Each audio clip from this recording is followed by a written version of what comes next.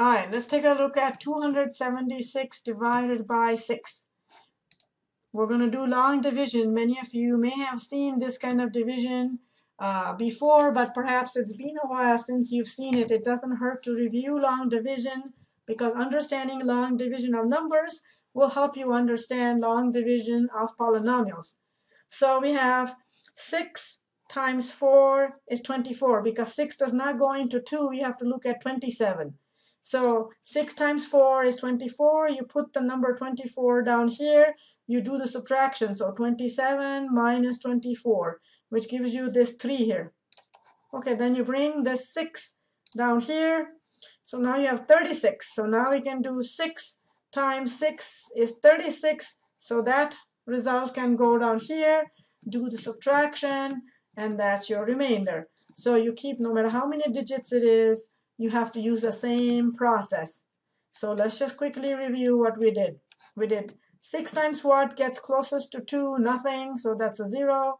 6 times 4 is 24.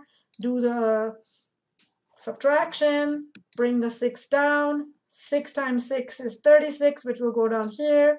And then the difference is 0. All right, let's try this next one.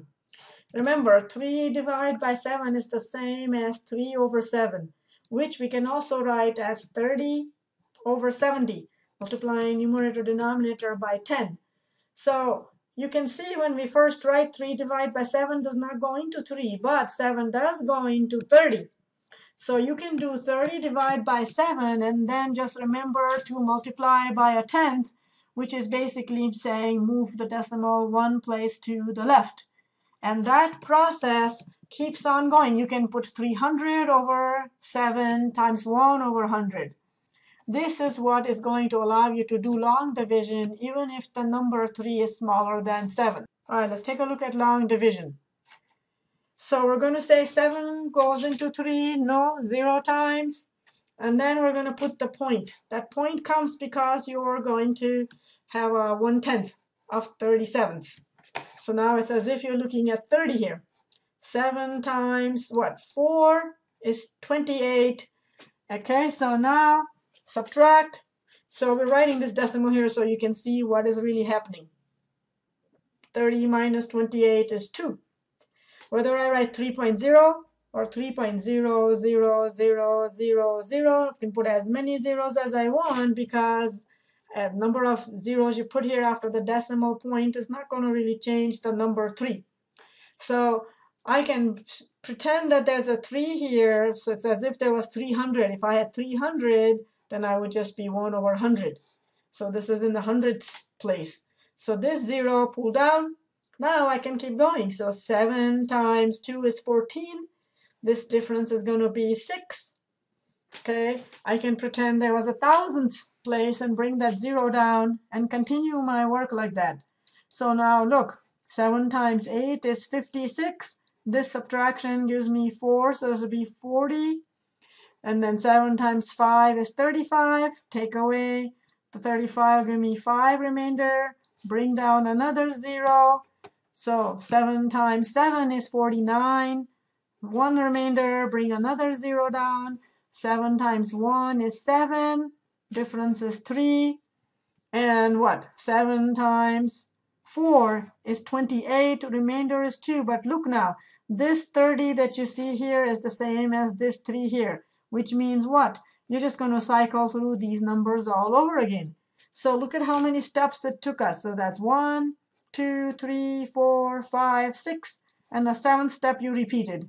So our number here is 4.428571 repeating. And so that's six-digit number. So when you're dividing by 7, you're going to have uh, anywhere between 0 and 6 digits repeating. If it's a terminating decimal, it will have no repeating digits. Just remember that. So that way, if it does happen that you get more, then you know you made a mistake somewhere in the intermediate steps. So let's use the division to convert this fraction into a percent because unless we change it into a decimal number, we can't work with percentages. So let's try. So again, 47 goes into 23 zero times, so we're going to put a point. So that makes it a point here. 47 times 4 is 188. Do the subtraction. That will give me a 2, a 4, so 42. Bring down the 0 that's here out here. So now we have 420. 47 times 8 is 376. You know how to do these multiplications. You can make a formalize only column and do the multiplication. Do the subtraction pull out the zero and continue like that. And so we have 0.4893 and you can keep going like that. But remember what it says, round to the nearest tenth of a percent. So I'm not going to work any harder than I have to. So decimal number in a percent means what? You move the decimal one, two, two places over.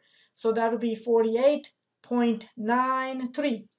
So 23 over 47 is going to be 48.93%. You round to the nearest tenth. Since the 3 is smaller than 5, it will be 48.9%. Look very carefully how long division allowed us to do that. The table shows here that you have some male and female students of traditional age and returning adults. There are 400 total number of students, and you're asked what percent of the students are male and what percent of the students are traditional age. So here's male students. So first we need to add them together. So that's 175 students out of 400. And now we want to know percentage. So we have to do 175 over 400. Let's reduce it. So we got 63.75 over 100 or 63.75% male students. All right. Now they're asking you traditional age students. So you look in the traditional age row. So add those two numbers, which gives you 325 students out of 400 are traditional age students. So again, do the division, and you have 81.25% of students are traditional age. So just remember that making it into a decimal number allows you to answer questions about percentages.